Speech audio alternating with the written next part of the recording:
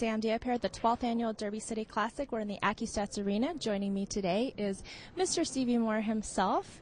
Uh, where are you living these days? Are you still in Florida? Uh, no, I've uh, moved back to my hometown in South Carolina, Spartanburg, actually. Interesting. All right.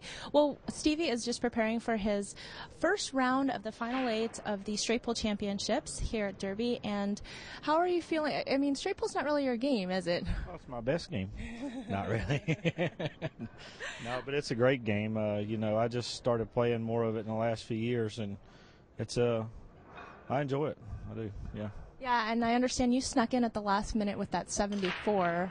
Uh, up to that point, I think the high, the lowest of the high runs was in the 50s or 60s. Yeah, um, I actually got in because of uh, two people had to uh, leave, so it was fine by me. I had 700 extra in my pocket. See you later. I think you're referring to Johnny and, and Shane, right? Who and, had and Cor- Corey and Corey and uh, Johnny, yeah. That's all right. That's all right. You got in. What's your personal high run? 84 or 86, I can't remember. But it was in the World Straight Pool last year. Nice. So it was pretty sweet. Yeah, so you got it on camera and everything? No. Maybe.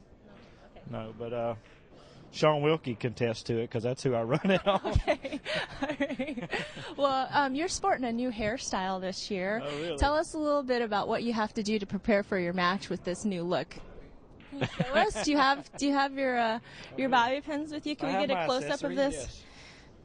So so now I'm that uh, I bought a pack of them for like a dollar fifty, and maybe sixty of them in the pack. what's is this the transitional phase or is this your ultimate uh, hairstyle? Oh no, it's transitional. It's going to be a little longer. Maybe uh, longer. It's going to be longer can catch up with me.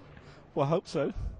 Maybe by this time that next year. All right. Well, we'll keep an eye out on Stevie's hair growth. All right.